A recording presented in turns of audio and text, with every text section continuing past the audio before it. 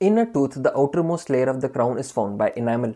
Beneath it lies the dentine which forms the bulk of the tooth and surrounds the pulp. Enamel is 96% mineralized and its basic structural unit is enamel rod. Enamel rods in cross section have a keyhole pattern and in longitudinal section have a rod and interrod pattern. Individual rods run from the dentino-enamel junction to the enamel surface, but its path is not straight but tortuous and undulating. Moreover, these adjacent enamel rods have dissimilar local orientations even if the general direction is the same. That is, enamel rods run from the dentino-enamel junction to the enamel surface and have a tortuous course. But that tortuous course is not same for individual enamel rods. Now enamel rods having this tortuous course and not a straight course is thought to be a functional adaptation against masticatory forces to minimize the risk of cleavage and cracks. This complex orientation of enamel rods refracts the path of light differently and thus presents with different microscopic structures. Moreover, in enamel, there are few hypocalcified areas which also refract light and form microscopic structures. So there are various microscopic structures in the enamel. Let us start with Hunter-Schreger bands. Hunter-Schreger bands are alternating bands of light and dark areas of varying width. They originate from the dentino-enamel junction and end at some distance from the outer surface. The dark zones are called diazones and light zones are called parazones. They are formed due to the tortuous course of enamel rods. In places where enamel rods get cut longitudinally appear dark and in places where they get cut transversely appear light. Hunter-Schreger bands can be easily visualized under oblique reflected light.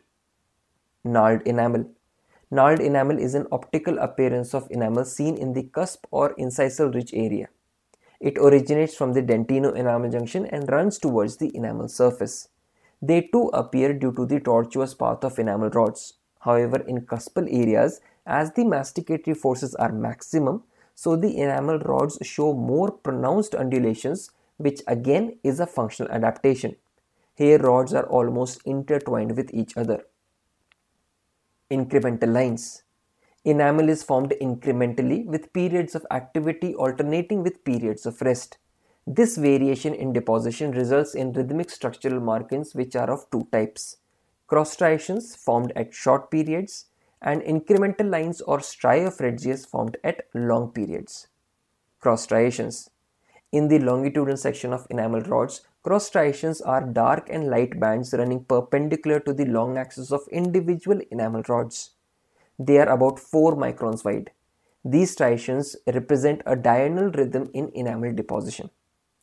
Incremental lines of Retzius.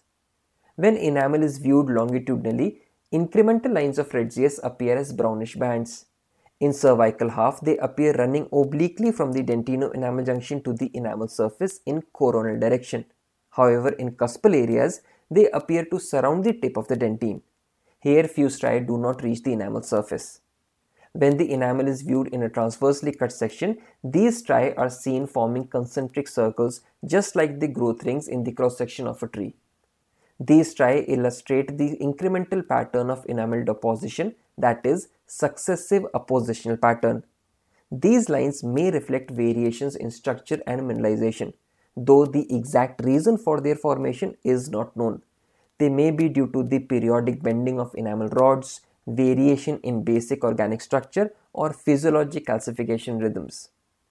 The enamel deposition rate from dentino enamel junction to the outer surface of enamel increases. That is why we see an increase in the gaps between successive striae.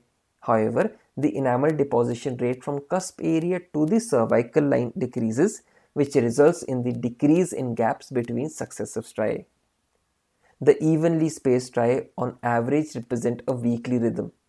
That is, on an average, the striae are about 25 to 30 microns apart, which means between two striae of Retzius there are 7 to 10 cross striations. Incremental lines of Retzius when reach the enamel surface produce elevations and depressions called pericymata presence of regular striae of Retzius is considered normal, though any variation in their intensity or their frequency represent an alteration in enamel deposition which may be due to some metabolic disturbances. Neonatal line In a section of enamel when striae of Retzius are visible, neonatal line is just an accentuated striae of Retzius. That is, it represents a variation in the enamel deposition. In this case, the alteration is due to the birth of child.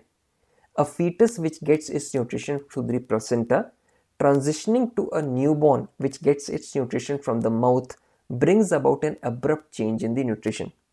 This line divides the enamel developmentally into two parts prenatal enamel, which is formed during the fetal stages of the development, and postnatal enamel, which is formed after the child is born.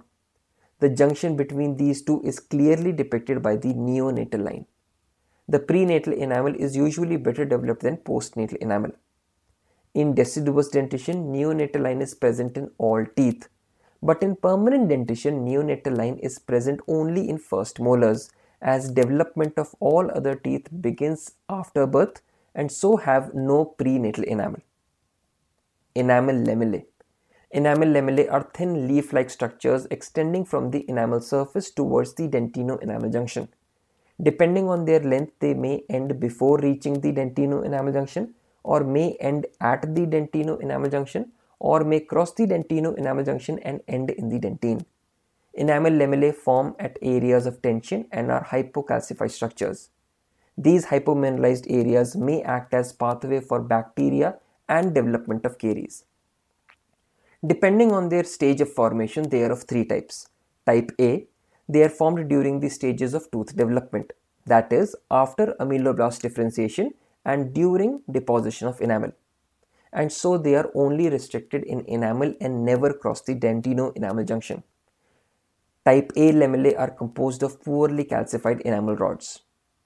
Type B they are formed after enamel formation is complete but before eruption of tooth into the oral cavity.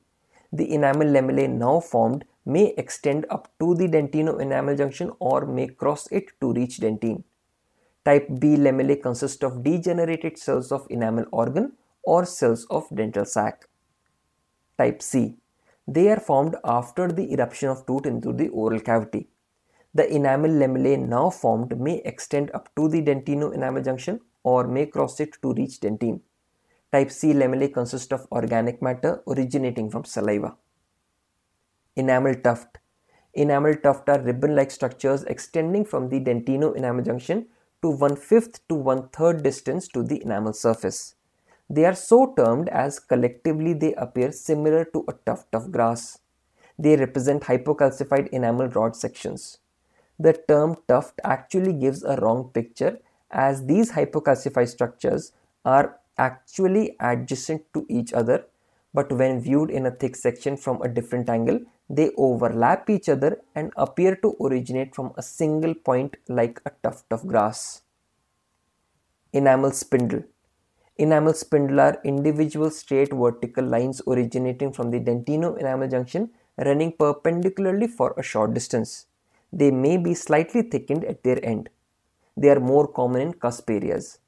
Enamel spindles are formed during the tooth development when amelogenesis and dentinogenesis are occurring simultaneously. As odontoblasts deposit dentine, they move backwards and leave an extension of odontoblastic processes. If any odontoblastic process crosses the dentino-enamel junction, it gets incorporated into the developing enamel. Hence, Enamel spindle is a hypocalcified area which contains odontoblastic process. They are perpendicular to the dentino-enamel junction because odontoblastic processes are perpendicular to the dentino-enamel junction.